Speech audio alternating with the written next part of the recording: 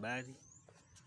Leo sasa nataka tuchambue kwa pamoja au niwaelekeze namna ya kuchambua hizi game kubwa kubwa ambazo kila siku zimekuwa zikiwapa watu changamoto, zimekuwa zikiwapa watu changamoto, hususani timu unakuta unaiamini, lakini mwisho wa siku matokeo inayokuja kutolea ni matokeo ya ajabu sana.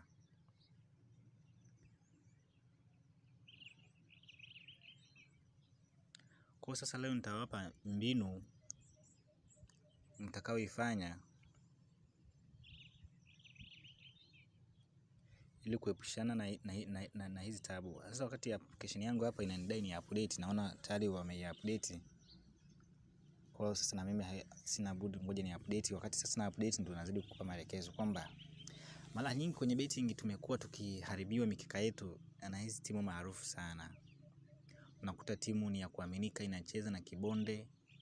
Mfano unakuta timu inaongoza ligi au iko nafasi kati ya zile nne bora na inacheza na mtu ambaye yuko kwenye tatu bora zile za mwisho kabisa, yani yule ambaye amewekewa kirama chekundu cha kushuka daraja, lakini matokeo yanayotokea pale ni matokeo katili sana, mpaka unakuta mtu anasema, wengine mpaka nilishaona kwenye mitandao ya kijamii wanasema kwamba wao tayari hizo timu kubwa maarufu watazibetia, mfano Manchester United na kadhalika.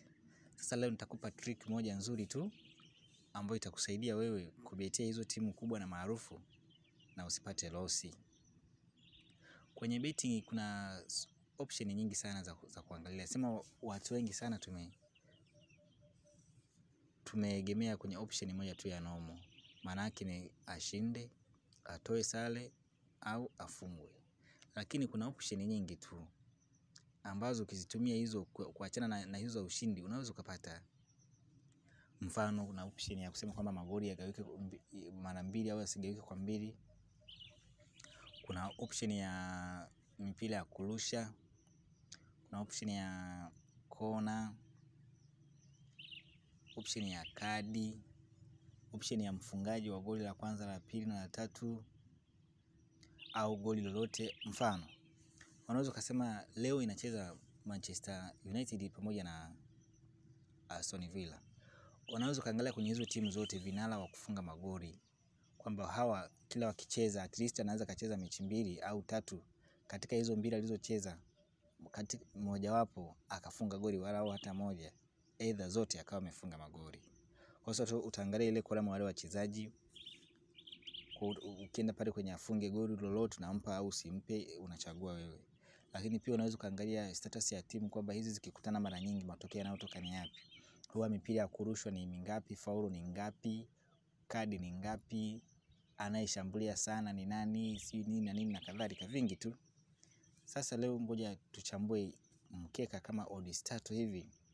Tukishazichambua tuzibeti, then tutakuja, mtakuja kunipa matokeo. Kwanza kabisa uta, utaingia kwenye kampuni yote ambayo ina option hizo, lakini hapo chini kwenye chini ya maelezo nimekuwekea linki za kampuni ambazo zi, zina hizo option, kwa unaweza ukatumia Tubet na kadhalika, kwa sababu ukishaingia hapo Tubet unabonyeza juu kwenye vimistari vitatu upande wa kulia no, no, no, no. E, upande wa kushoto na vibonyeza hivyo. Ukisha vibonyeza unashuka hii sehemu iliyoandikwa sport, nabonyeza sport, unachagua kwenye kilama cha saa huku, unachagua saa una, muda unaotaka kutumia katika betting yako, yaani unataka mechi zinazocheza kati ya saa ngapi na saa ngapi. Kuna zinazocheza baada ya sekunde 30, kuna zinazocheza ndani ya lisandi moja, masaa mawili matatu mpaka sita, kumi na mbili. Sasa sisi tunakuja kwenye masaa 24, manake siku nzima. Alafu sasa unachagua unataka kubeti michezo gani, football, tennis, basketball, sijui nini na nini na kadhalika. Sasa sisi tutakuja kwenye mpira, kwenye football tunakuja tuna, tulishasema leo kunacheza Manchester United na Aston Villa na nyingine nyingine. Hiyo nimehitaji kwa sababu ndo nataka tuanze nayo hiyo. Tuna click England hapo, Premier League tumeona kuna Chelsea na Manchester City, kuna Newcastle na Watford, kuna Norwich na Everton na kadhalika na kadhalika. Sasa sisi game yetu ya kwanza kabisa kuchambua ni Aston Villa na Manchester United. Tuna click hiyo timu. Sasa ukija hapa kwenye status kwanza, hapo unaonyeshwa mechi tano za nyuma kabla ya leo inayochezwa. matokeo yalikuwaje? Manchester United alimpiga Aston Villa goli moja kwa sufuri. As- Aston Villa akapigwa tena mechi ya pili, akapigwa tena mechi ya tatu, mechi ya nne akashinda, hiyo akapigwa tena akashinda. Kwa unaweza ukaona kwamba huyu ushindi wake ni magumashi sana. Huyu akashinda, akapigwa naye tena akapiga, wote ndo wale wale. Sasa hii timu manake, kwa maana hiyo ukija kwenye mitandao ukafuatilia idadi ya mechi walizoshinda zinakaribiana, haziachani mbali sana. Kwa hiyo hazikupi wewe imani ya kumwamini mtu yoyote kati ya hawa wawili. Hasa kama wewe huko hujaridhika nako, unaachana una, una, unaachana nako, unakuja kwenye kona, unaangalia sasa kwamba hapa kona nani anaweza kashinda kona. Kama wewe hu, hu, hu, hujiamini kwenye kusema kwamba huyu anaweza kafunga mwenzie, anaweza kawa akamzidi mwenzake kona, unaachana navyo, unakuja chini sasa kwenye toto, huku ndo kwenye over na under. Over ya nne pointi tano maana yake ni, ni kona zianzie tano. Hizo mara nyingi zinapatikana. Hata sisi tunahitaji zenye odds kubwa ni hizi za juu huko. Kwa sasa hii game sisi kwa utabiri wetu leo tutapata kona takriban tisa au kumi. Kwa ukibonyeza hii over ya nane pointi tano maana yake utapata kona ngapi? Kona tisa. Au utaikataa kona tisa. Una- hapo kulingana na mahitaji yako. Then kama hujaridhika na masoko ya kona, unakuja kwenye kadi za njano, yellow card, una click. Muda huo huo umeshafuatilia kwamba hizi timu kubwa mara nyingi huwaga hazitoi kadi sana, hazitoi kadi za njano sana. Ndio maana hapo naona imeanzia over ya moja pointi tano kwa sababu utashuka mpaka huku chini kabisa, utakataa kwamba hazitafika kona sita au tano. Kwa unaweza ukabonyeza hii anda ya tano maana tano maanake kadi za njano zitaishia tano, au ukabonyeza hiyo sita point tano ukachagua. Kama hujalizika na hiyo, unaweza ukachagua shoti shoot on target, maanake mipira iliyolenga lango ukachagua. Mechi kama hizi huaga mipira inayolenga lango inakuwa ni kuna wakati inakuwa mingi kulingana na aina ya uzito wa mechi. Kwa hiyo una, unaweza ukachagua kuanzia mipira iliyolenga lango nane inapatikana kwa mechi hii ya leo. Mipira iliyolenga lango nane inapatikana.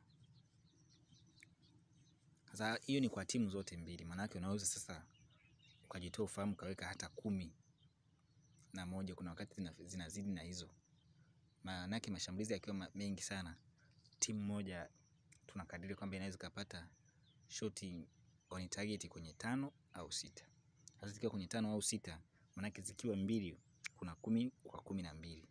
kuna unachagua sasa uweke wapi. Kama hujaridhika na hizo, utachagua tena offside, unataka ziwe ngapi. Unaweza ukachukua ofsaidi zikawa mbili au tatu na kadhalika, kulingana na mahitaji yako. Faulu ziwe ngapi,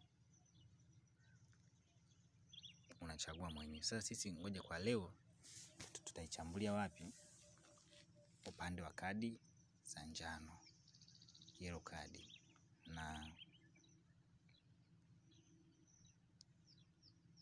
na kona.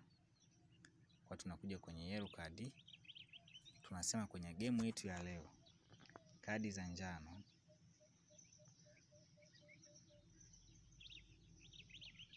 hazitafika ngapi? Sita. Kumbuka hiyo kadi za njano zitafika ngapi? Sita. Kwa tuna click under. Ukisha click hapo, maanake ili iongezwe kwenye listi ya mechi ulizoziandaa utabonyeza add bet slip. Kila mechi kama unataka kuandaa mkeka mechi nyingi, sasa utakuwa unafanya hivyo hivyo, kuna click hapo. Add to bet slip,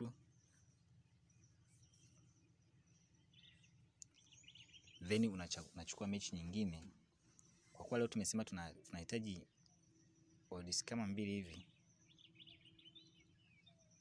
Kwa sasa tutarudi nyuma, tutarudi nyuma, tutakuja kwenye hii ya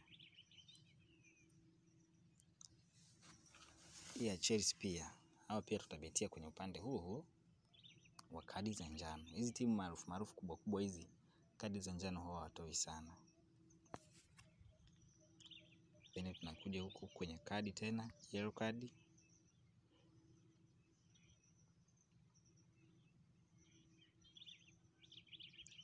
Pale pale kwenye kadi za njano zifiki ngapi? Sita. Na click hapo. Kwa kwanza nipunguze timu ambazo nilikuwa nimeshatanguliza ili tuzitoe.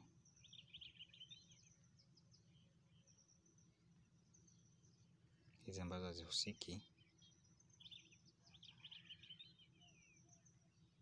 ili zibakie hizi ambazo sisi tumezichagua sasa hivi. Mpaka sasa hivi maanake odds mbili bado hatujafikisha. Tunarudi sasa huku, tunachukua tunakuja kwenye game nyingine ya Newcastle na Watford. tukiacha nayo, tunakuja hii tunakuja hii Southampton hiyo. Hawa sasa wenyewe tunaenda kwenye kona. Hawa tunaenda kwenye nini? Kwenye kona. Hawa tunaenda kwenye kona, kwamba kona zetu katika mechi hii tunahitaji zifike ngapi? Walau zifike ngapi? Tisa. Tuna kliki hiyo nane pointi tano. Tayari odds mbili zimefanyaje? Zimekamilika. Sasa unaenda sehemu ya fedha, unangoja sasa tukaweke pesa tujirutie mzigo. Kumbuka, kama wewe ni mgeni kwenye chaneli hii, tunaomba sapoti yako, subscribe kwenye chaneli hii, bonyeza alama ya kengele, utakuwa sambamba na sisi, maanake kila tutakapokuwa tunatoa mkeka, tutakuwa pamoja. Asante sana.